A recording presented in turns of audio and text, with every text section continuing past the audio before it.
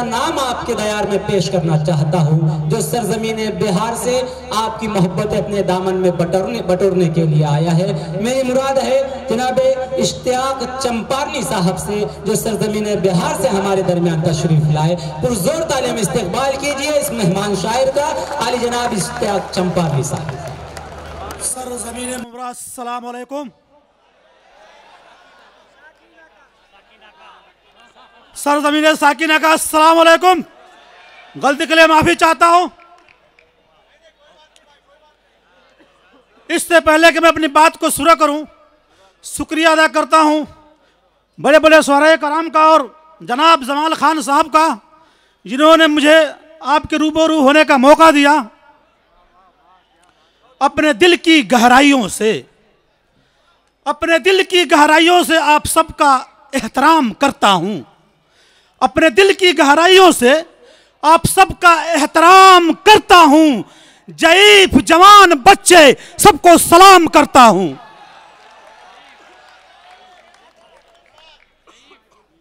एक शेर जिनकी क्यादत में ये मुशारा रखा गया है, सोचता हूँ।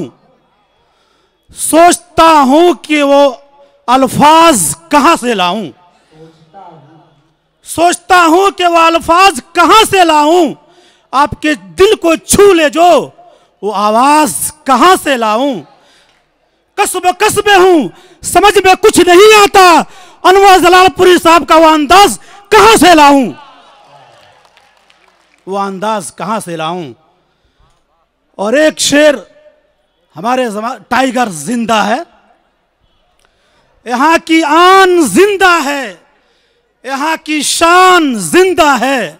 अभी शाकी नाका की सम्मान ज़िंदा है। क्यों ना आए इन हवाओं से मोहब्बत की खुशबू, जब तक इस सरजमी पर जमाल खान ज़िंदा है। मैं इतनी जल्दी जल्दी इसलिए पढ़ रहा हूँ कि टाइम की किल्लत है। आप लोग तैयार हैं? आज मुकाबला है हमारे और आपके बीच। देखता हूँ कौन हारता है और कौन जीतता है, छोटे से शेर के साथ। आज मैं स्टेज से हिंदुस्तान के तमाम छोटे बड़े पार्टियों को एक मशवरा देता चाहता हूँ कि कोई भी वादा ऐसा ना करे चुनाव के समय जो वो पूरा ना कर सके। नहीं तो हिंदुस्तान की जनता एक बार बेवकूफ़ बन सकती है, दूसरी बार नहीं। जो वादे किए हैं, ये हुकूमत या हमारा शेर? जो वादे किए हैं, उसको पूरा कीजिए साहब। सिर्फ़ जुमलेबाजी से काम नहीं चलता। जो वादे किए हैं, उसको पूरा कीजिए साहब। सिर्फ़ जुमलेबाजी से काम नहीं चलता। जब आएगा 2019 तो कुर्सी से उठाकर ज़मीन पर पटक देगी जनता। कुर्सी से उठाकर ज़मीन पर पटक देगी जनता। एक छोटा सा शेर मैं अपनी जगह लूँगा। ये आखिरी शेर टाइम बहुत कम है।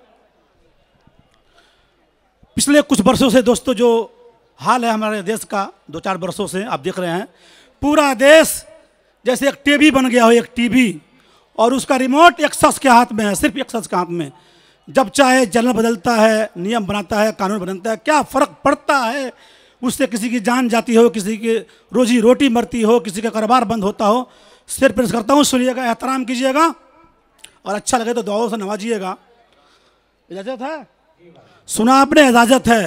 अगर हमको अपनी शेर पढ़ने की इजाज़त है तो आपको भी अगर मेरा शेर अच्छा लगे तो भरपूर ताली बजाने की इजाज़त है।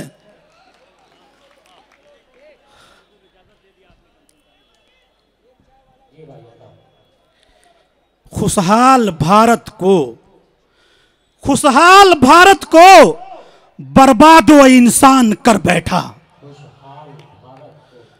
खुशहाल भारत को बर्बाद व इंसान। कर बैठा। लोग तो पीएम बनाए थे, वो भगवान बन बैठा। लोग तो पीएम बनाए थे, वो भगवान बन बैठा।